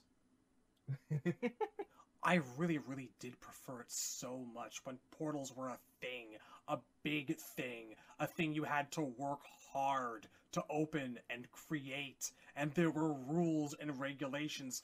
Now you just turn over a rock and you find one. Well, There is, there is, to think be fair, I don't think the devaluing of the concept of the portal started here. I No. think it was years and years ago. there is backup to this because that's the entire reason that the OIA exists is that they're Yeah. specifically supposed to go and find portals and take them out. And and honestly, that particular plot thread is actually inspired by the cartoon Defenders of the Realm. God help the idea that there are portals all over Earthrealm, just randomly occurring in nature, is actually a creation of John Tobias from the very beginning. That was that used to be the reason why everyone wanted Earthrealm so bad. It had a lot of portals in nature. it was in effect a nexus. Yes, you could you could get to anywhere from Earthrealm. So if you controlled Earthrealm, you could invade the rest of the universe. It's basically Midgard on the world tree. But back to Scorpion. Right. So so Scorpion is chasing Quan Chi, and now he has to deal with these two dumb demons. And Quan Chi dives through one of these amulet portals and ends up in Outworld. And Moloch and Drahmin are like, "Wait, he's leaving us behind! He's betraying us!" And they chase him through the portal too. And then Scorpion chases them all through the portal. And Yakety Sax starts playing. And off-screen, Sareena has somehow broken free, and she goes through the portal too. But she's neither here nor there for the time being. Right. Everybody who goes through the portal ends up in a different location because it's it's kind of on random shuffle mode this portal and you can see that in the uh the Deadly Alliance the opening cutscene. so Quan Chi ends up in Onaga's tomb. Moloch and Drahmin end up in some random village out in the wi- wilderness. Scorpion ends up in some other part of the wilderness. And Sareena ends up in another part of the wilderness. They're all just they're all just dumped into random places in Outworld. To be, I mean, to be really fair about this, this is acceptable because this is kind of a trope, and it's the it's one of the reasons Chrono Trigger starts the way it does. People who jump through portals after someone else don't end up directly where the other person ended up in that specific time and place. If they did, stories would be a hell of a lot more boring. So just roll Hmm. with it. right. But but at this point, Scorpion has gotten pretty good at hunting people who he's supposed to get his revenge on. And so he tracks Quan Chi and he finds him at Shang Tsung's house because Quan Chi is forming the Deadly Alliance. Shang Tsung has gone inside the house to get something, and Quan Chi's just standing out in the backyard, which is that acid bath stage with the spitting Buddhas. Please wait here, and I will be back with you shortly. Enjoy the music that plays in my courtyard. yeah. Can't come in? No. To be fair, Shang wouldn't want Quan Chi in his house. Right, right. So, so Scorpion jumps Quan Chi while he's standing there in the backyard, and they have a fight. And it's interesting. Most of this th- fight doesn't appear in the game, but it was 3D animated because pieces of it are used for the commercials for Deadly Alliance and for the music video for Adema's Immortal. Sorry, just not a fan of that song. So it's weird that they went to all the trouble of animating this shit and then didn't put the full version anywhere in the game. Again, every game they make, they can't include everything that they want to do. They've been on record as saying this multiple times. I suppose. But anyway, at this point, Quan Chi has gotten some of his strength back from not being trapped in the fifth plane of the Netherrealm, and is able to beat Scorpion and knock him into the acid. Scorpion dies, and immediately respawns in the Netherrealm and comes back to Outworld to try again. And meanwhile, Shang Tsung walks out of the house and he's like, What the fuck just happened? And Quan Chi plays it real cool. He's like, That was an assassin come to kill you. I have defeated him for you. Because we're friends, right? Oh my god. See, this is. shit like this is why I try not to stare too long and too hard at specific pieces of canon. Because if you do that, everyone's an idiot. For the most part, I'm happy. I like that. I don't know. I'm I'm happy looking at the bigger picture, the most important details. I don't need every fight to have a canonical reason. Otherwise, it's, I it's mean- stupid shit like Johnny and Jax fighting in the armory in Nine because of a slight like that misunderstanding. Ugh. I like that scene. Johnny and Jax would totally fight eventually if they met for the first time. You can't justify every every single fight without things becoming a little bit dumb. Is my point. I, I like it. I like it. I think it's funny. I suppose. I just like to give And it- Shang a bit more to be credit for his brains it's not like than Quan, that. it's not like Shang starts trusting him. You know what? They're still like side eyeing each other for the entire game. I'll read it like this. I just beat that assassin for you, bro. Uh huh. That's how I'm gonna read that scene. Yeah, basically. Anything to make Shang coming look better coming out of the Deadly Alliance than he actually does. So Quan and Shang go off to conquer Li Mei's village and build their castle and create the Soulnado. They have a lot of crazy back to life. misadventures. Shang makes an alliance with Drahmin and Moloch and periodically feeds them people because Yeah, you know, keep keeps them in his basement for the day that he's ready to turn on Quan Chi there is backup plan. because they're side eyeing each other the entire game. So Scorpion tracks them to their new castle, Shang Tsung's palace, and he sneaks in. And he makes the mistake of sneaking into the basement where Moloch and Drahmin are. They can't eat him. This is important. They actually can't eat him. They wouldn't derive any nourishment from his flesh. Right, there as a dead guy, his meat is useless. Not a part of the food pyramid. So they decide to throw him into Shang's Soulnado. And the reason this is important is because the way this Soulnado works is it's actually just an open portal that leads to heaven. And all the dead people in heaven are flying out and making a big tornado of souls. Reminder at this point, the Elder Gods don't give a shit unless you're trying to merge the realms. Right. still so just them. having holes open in heaven doesn't bother them. That's it. Really, that is it. So, so Moloch and Drahmin decide to throw Scorpion in because he's a hell spawn. So if you chuck, chuck him into heaven, he'll just be fucking obliterated. Right? This might actually kill his soul. I'm guessing that was Drama who came up with that one, so good chops. I like it. The logic is sound, but for those of you keeping track, that is Scorpion's MK Deadly Alliance plot in a nutshell. Yes. Chases Quan Chi out of hell, gets knocked back in, comes back out, chases Quan Chi again, gets thrown into the Soulnado. That's all he does. Yeah. So Scorpion is thrown in the Soulnado, and he's going to be carried to heaven, which will destroy him, maybe forever. And he manages to slip out, but he slips out at a point between dimensions and ends up in the void, the empty space between realms, which is where the elder gods actually live. They don't live in heaven. So so when he ends up in the void in front of the elder gods, uh at the same time Onaga happens to be coming back in Outworld.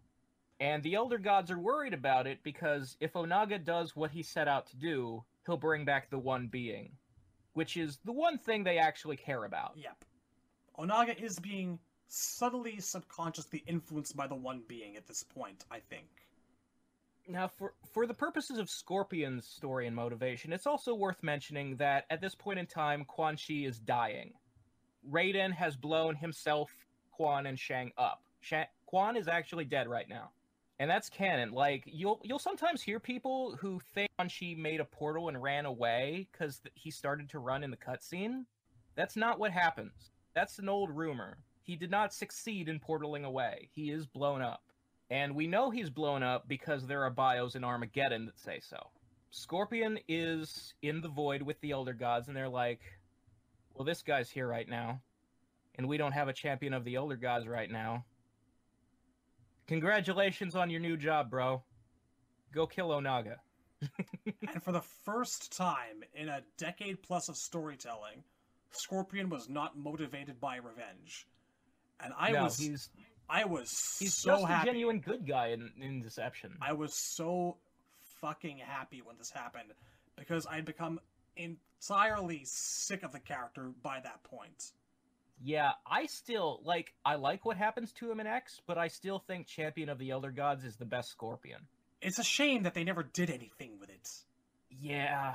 Well, I'll get to that uh, when we get to Armageddon. I have some thoughts, but anyway, for now, Quickly about about Quan Chi, and uh, he was blown up. They specify that in Shang's Armageddon bio.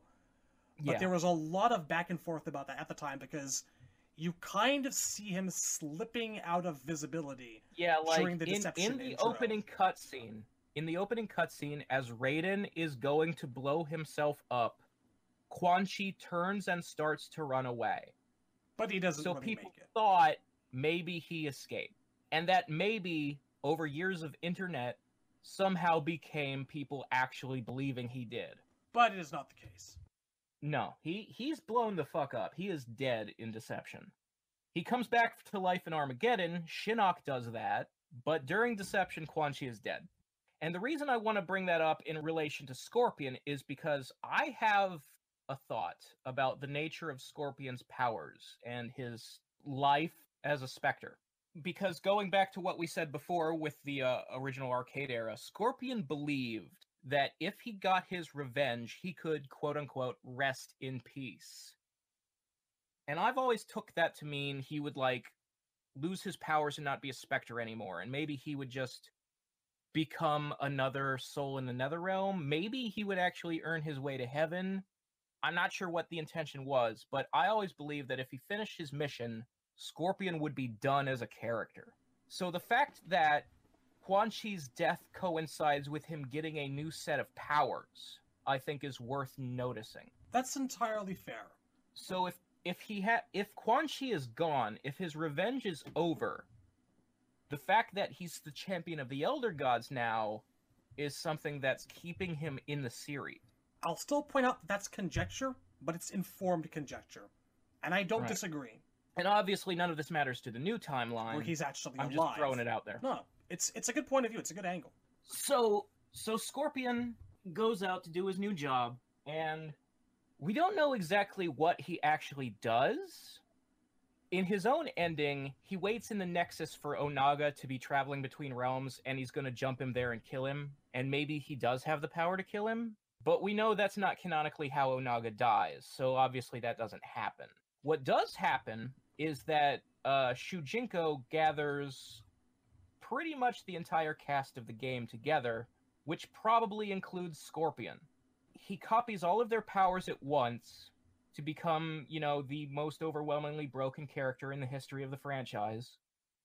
And then he destroys the Kamidogus so that Onaga will not be invincible anymore. And then, as he's beating Onaga to death, Nightwolf sucks Onaga's soul out of Reptile and traps it in the Netherrealm. Which leaves Scorpion kind of SOL. To be fair, Scorpion did participate in Onaga's defeat if he was one of the guys who lent Shujinko his power. He was around. He was involved theoretically. Which takes us to Armageddon, where the Elder Gods quote unquote reward Scorpion for doing his job by resurrecting the Shirai Ryu clan. This is something that you see in Conquest. Yes. They resurrect them as Hellspawn. Yes, they have specter powers, and and this bothers Scorpion for some reason. He wanted them, I guess, to be alive, alive. Now, if I remember right, the wording of this made it so that they were pissed off that he was making demands of them. Well, I don't, I don't think, I don't think it's said one way or the other that the Elder Gods did this on purpose to get at him for or anything. Like the way, the only thing we really see in Armageddon is him saying, "I did my job, and they offered me this reward. The problem is they're undead, and that's not what I wanted, and that pisses me off." It doesn't say that the Elder Gods like. For all we know, they made them undead because they thought that was a good thing. I mean, these guys have superpowers now. Possible. Is Scorpion's life technically different in a better or worse way as a Spectre than it would be as living Hanzo? No, I'm gonna have to go back to I'm gonna have to go back to Armageddon and replay the conquest mode because I feel certain that he was incredibly pissed off at the Elder Gods during conquest. Oh, he he was super pissed off. Scorpion is actually like to the point of being out of character. He's decided when he when you meet him in in Conquest when he fights Taven, he says he's decided that since the Elder Gods have done this that he didn't want or didn't like the results, He's so mad at them that he's going to actually stop Taven. He wants Armageddon to happen. He wants the universe to be destroyed to get back at the Elder Gods. That's what happens when you try to justify every single fight. It's a mistake. Which is the most insane villain thing. Like, even the bad guys in Armageddon don't want the universe to be destroyed, they just want to win. So, Armageddon Scorpion is just the worst. Just, the hmm. writing is gone completely off the rails. We knew that. Mistakes were made. But I do feel like his level of anger is justifiable if he feels the Elder Gods have punked him. Which he almost certainly Yes, does. I mean, okay, so so there is there there are a few th- points I want to I want to make about this whole I want you to resurrect my clan request. And actually, on reflection, seeing the Shirai Ryu here as resur- as resurrected Hellspawn might have been what caused me to realize that Ultimate MK3's multi Scorpions were the Shirai Ryu. I could see that. Possible. But so here's the thing. First of all, Tell us about the thing, Razor.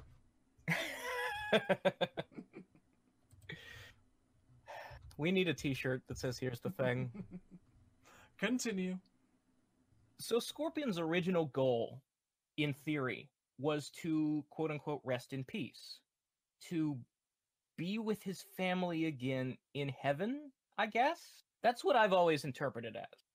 So in Armageddon and in MK9, Scorpion's goal is suddenly to have them resurrected.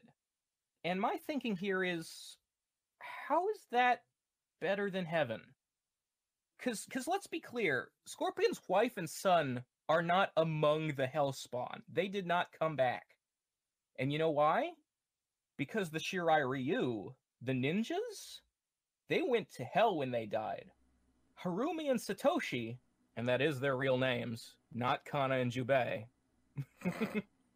they went to heaven when they died because they were innocent. And this is where I bring up the notion of Armageddon endings being a little bit sloppily written. But if you want Right. to take this as the as evidence of them fucking with Scorpion, well, you could consider this because his his Armageddon ending does say that the Shirai Ryu are resurrected in the thousands, and that his wife and son are among them. So if well, there's this anything, is after he gets Blaze's prize, though. Yes, but again, I know that a lot of Armageddon endings are written like shit. See Planet Smoke. I don't have to say anything more. but that old tradition, you take things that you learn and you apply it to what is. And I could see Scorpion being pissed off enough if his wife and son were reborn as Hellspawn to want to fuck with the Elder Gods any way he could. You you have to finish the ending. He wishes for his family back, but then Quan Chi runs up to the pyramid and grabs his son and whoop whoop whoop whoop whoop, whoop, whoops away. and that's the point that we discard.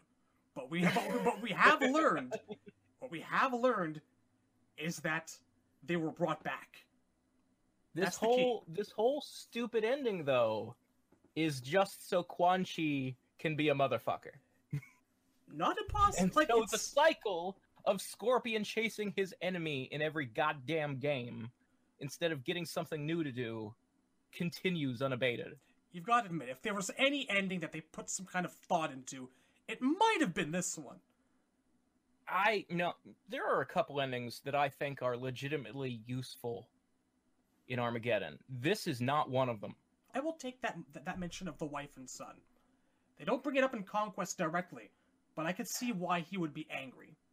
I just I just have a problem from the morality of it for Scorpion to even ask for this because it's not. Would you rather be alive or would you rather be in heaven? You're asking the wrong I'd rather guy be in here, fucking man. heaven. You're asking the wrong guy. All right. Well, let's imagine imagine that we lived in a universe where we knew for sure there was a heaven.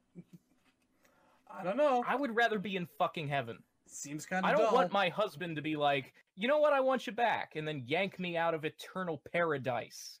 See, that's not her husband though. That's the Elder Gods as punishment for him yeah, but fucking them. Scorpion asked for this. This he requested this reward. You don't ask, and he does it again in nine. You don't ask the Elder Gods for shit. They're assholes. They don't care. You're not Or there no, for actually, what happens in nine is that Raiden offers it to Scorpion, which means Raiden is the asshole who thinks it's better to be on Earth than in heaven. Seems about par with MK9's characterization of Raiden. Sure, why not? God damn it! Sorry, man. It just the, I the Elder I Gods. I don't approve of any of this. The elder Gods ideal use Scorpion should be a guy who wants to die and rest in peace in heaven, not a guy who wants to yank people out of the afterlife to be with him on Earth. Can he rest in peace if he knows his family and clan are suffering? I don't know if he But can. his wife and kid are not suffering. If they're hellspawn, they are. I- I don't Y- You're necessarily. the whole thing off that ending, though. Eh? If they're hellspawn, then why aren't they there fighting Taven? Maybe they can't fight. Maybe they've just been brought back as a cruel joke because the Elder Gods you know what? None of those guys could fight, and I had to beat them up anyway. Splitting Those hairs. here. minions t- die in one hit. They're not gonna let you beat up a hellspawn child. Yeah, that's the thing. Like Scorpion's kid was what, like eight years old? Exactly. I'm just saying, there's justification for him being angry as he is, if his wife and son are also hellspawn at this time. That's how I took it anyway. But it's not that it actually matters, because, as we all know, Pyramid, Blaze, everyone says, Ooh, a shiny thing, and runs to it, and then there are no friends, and Scorpion's canonical story in the original timeline ends with Sub-Zero's sword in his back. Yeah. You see this in I the guess. you see this in the nine opening. I mean, the thing of it is that anybody who dies can just come back. So I don't know why we're supposed to be upset about Armageddon, especially Scorpion. Yeah. If Quan Chi's also dead, Like if if Sub-Zero put that sword in his back, 15 minutes later he's back on the battlefield.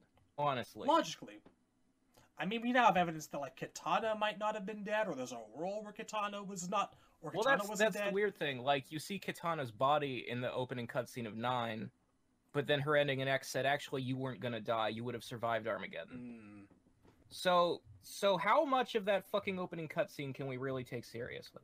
I think we're supposed to assume most people died. I mean, the other the other thing is everybody's wearing the wrong goddamn costume.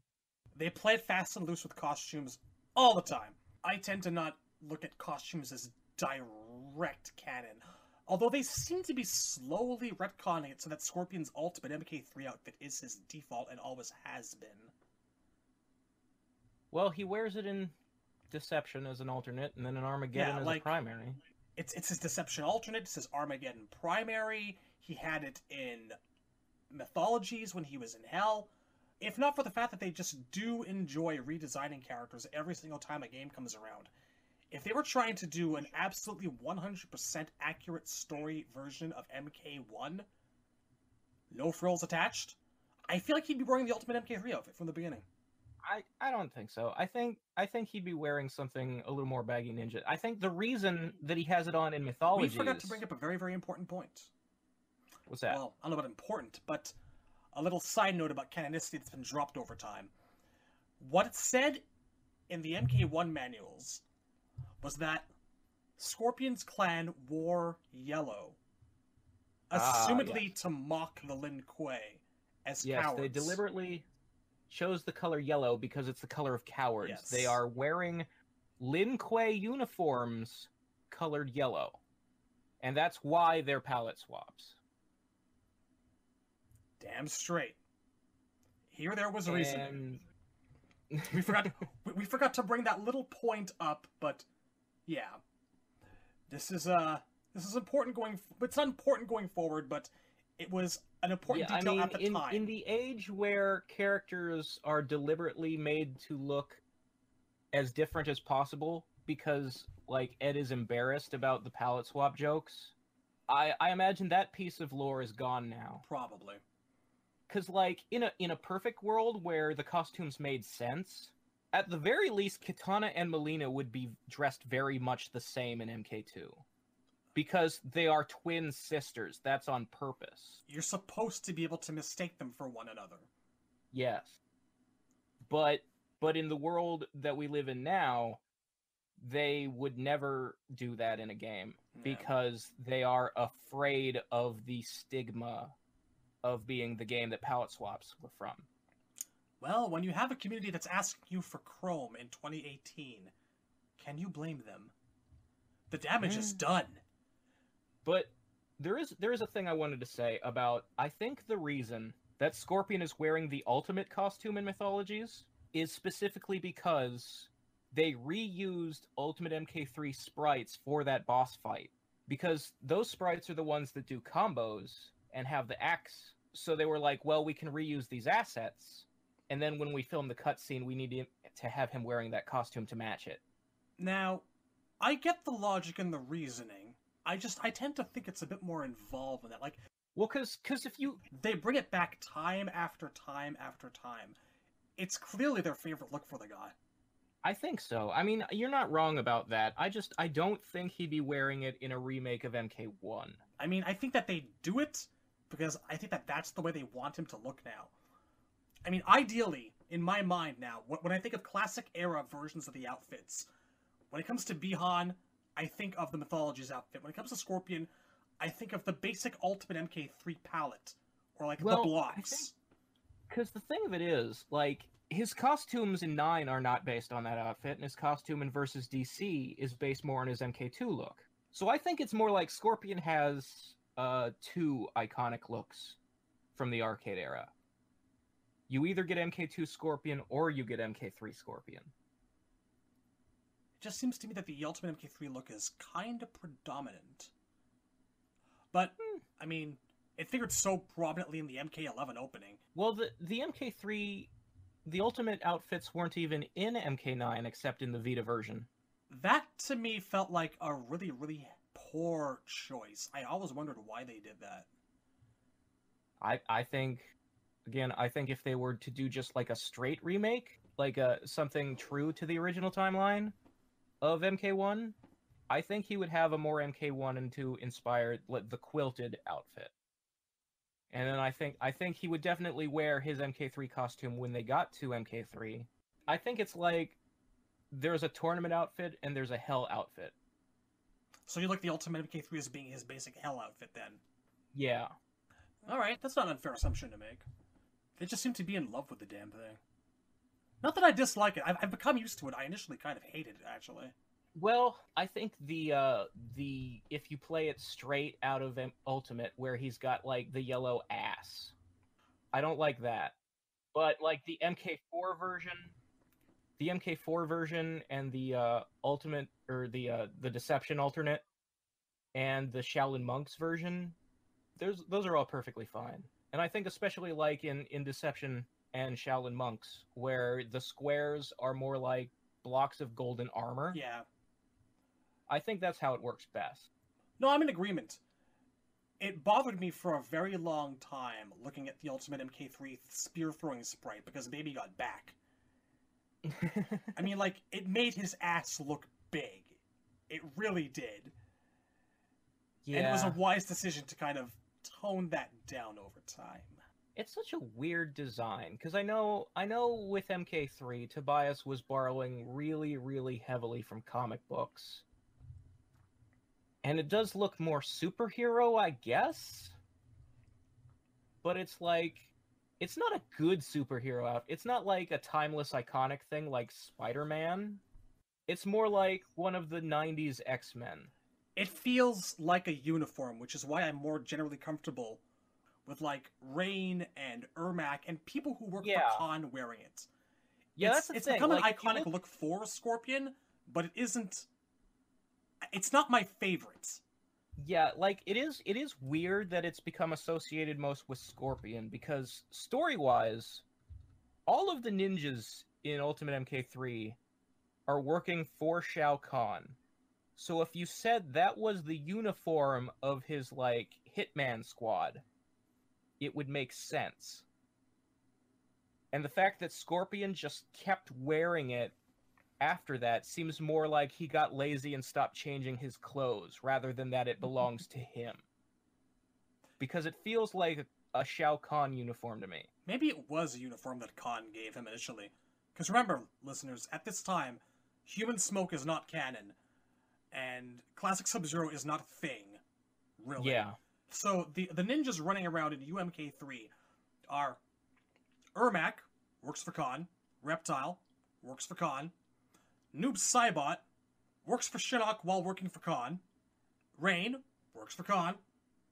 There's really not a single one. All the ninjas Yeah, no, are it's- running around like working for Kahn, and Sub Zero is single unmasked. one of them. Yeah, Every single one of them that's canon works for Kahn. Yeah. and So I always thought of it as a uniform. me too. Also, Chameleon, if you care about that kind of thing. If if he is thought of to have a story at all, it's that he works for Khan. He was always there from the beginning. Right. there right But now. but when you fight him, it says a warrior of Shao Kahn's or something like that. and that's all he. Yeah, that's it. That's all. That's all he gets. That's literally that one sentence is the only story he has. and it justifies our point. Whatever he is doesn't matter. It's what he's wearing that counts, and he's working for Kahn. Yep. Yep. So that that little costume tangent we covered a bit. Uh where were we before that? I guess we were talking about Armageddon. Yeah, he did. Right. So the the point that I wanted to make is that even though Scorpion is mad at the Elder Gods, he's still technically their champion. So with some rewrites, you could turn this around and like cuz I've always been a big proponent that Armageddon didn't have to end the universe.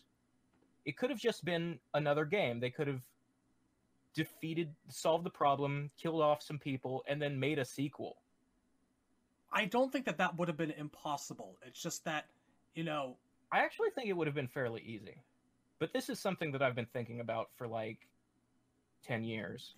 Midway being in dire straits and them getting sold and WB picking them up and the formation of NetherRealm Studios now as we know it. I mean, yeah, there's I understand why they rebooted. I mean, my my biggest problem is that if you're going to reboot start from scratch, don't do the whole thing.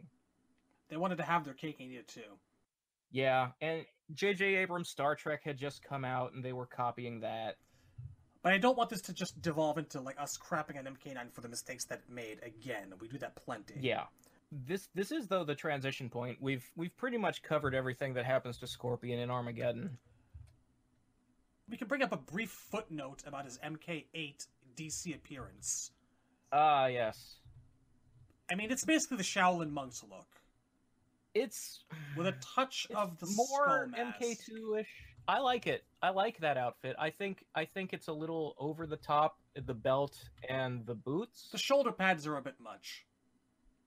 Yeah, yeah. But like just just the fact that they went back to the quilted look and that mask actually, like the the rib cage on his face style mask. I like that.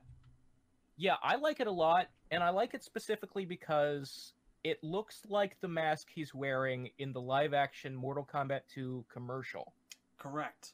I wish that outfit had been his MK9 outfit because there are elements that seem inspired by it. Like they continued some themes, like, but they went way over the top with them. Like the mask has changed from a rib cage on his face to an alien monster hugging his face. The mask itself didn't bother me as much as like the overuse of the scorpion motif absolutely everywhere all over him did. it's it's too much all over the body. Every single element is too much. It's it's his MK9 primary is my most hated Scorpion outfit of all time. And hate is a strong word. I just say most hated because least favorite has the word favorite in it, and I don't like. no, honestly, I can't stand it. It's very it's very insectoid, very creepy crawly, and it just It's he looks he looks like a Masters of the Universe villain. He looks Yeah. like he's gonna fight He Man. It's fucking bullshit. sorry guys. But no, like, it's also got like the the terrible shoulder pads. It's over designed. It's it's it's very much over designed. Yeah. But the mask itself, I like in isolation. The motif. I I really don't. I think all the like the little grooves that look like I don't know bug pincers or something. I think if if the MK versus DC outfit hadn't existed first for me to compare them and contrast them to each other, the mask wouldn't bother me so much. But because his versus DC mask was so good, it makes me even more upset at the MK9 one. I can understand wanting to incorporate the motif of a scorpion on a character whose name is Scorpion. They just went overboard with it. The layers of chitinous exoskeleton like armor that are over his legs. Yeah, the, the fact that all of his like the black undersuit Yeah. is all like layers of bug skin or like cancerous growth stuff. It's it's deliberately drawing upon the art style of H.R. Giger. Everything in moderation. And hey, look at that. We've devolved into shitting on MK9 again. Yeah, well, we are 15 at minutes. MK9 now, so we might as well. There is a tendency in art to depict things from hell as Giger-esque, and I don't like that. The hell that I want Mortal Kombat's universe to have, the hell that we saw in games before MK9, was more based on industrial and heavy metal music. You know, there were belts and spikes. It's a little bit bondagey. That's what I think of when I think of hell. That's what I want to see is like a Frazetta album cover, not the movie Alien. I'm open to different interpretations of it. I believe that the Netherrealm has, you know, it, well, we know it has many planes and many dimensions, and we know that there are places where people are just tormented and tortured. Like we saw what Drahmin was put through. And I've always wanted to see us take a trip through the various levels of the Netherrealm and see all those different kind of awful hellscapes. One plane looks like Giger, one plane looks like something out of like Lovecraft's Lovecraft's works, like the Christian version of hell. I'm okay with that. Just throw it all together in a like pot. a specific section of hell that was more Giger-esque and had like more insectile stuff, that would be fine. And to have a new character come from there would be fine. But Scorpion, we've seen the plane he comes from, and we've seen his costumes in past games, and he's spiked belts guy. That's what I want for him. That's fair. Just looking at the MK9 versus screen pose now, I want to hang a hat or a coat on his shoulder pad. Yeah, it's those fucking shoulder pads with the ridiculous cartoon scorpions. That's It's too much. That's what I mean when I say he looks like a He-Man villain. It's very themed, overdone. Maybe if for an MK4 costume where it's like, you know, his character has been progressing and in a more Netherrealm themed direction, but when he's showing up for the tournament for the first time, he's only been dead a couple years. He should look the most human at that point. There's a lot that I want to say about Scorpion's general design and motif. Mm-hmm. there's not a lot of thought put into the concept of character development or progression in MK9 because it all because the game itself happens so fast. Like MK1, 2, and 3 were squeezed back to back two and a half hours of cutscenes. Whereas the games take place over months, maybe years. We'll talk about uh, story in the new timeline next time. There's a lot to delve into. All right, that's going to be it for the night. We are signing off, and next time we will take up a couple of questions too. Assuming we don't talk about Scorpion in the new timeline for two more hours. It should go slightly faster. Two games in a comic book versus seven games. And then there's all the extraneous source material. I don't know, man. right. We might make it three parts out of this. There's the movie in Malibu, and you know, there's a lot to say about Scorpion for Conquest, but I might want to save that for when we watch Conquest because he is the pilot episode. Okay, fair enough. All right, folks. See you on part two. Yep. See you then. Shad's note post recording of episode two. we totally didn't make it to questions.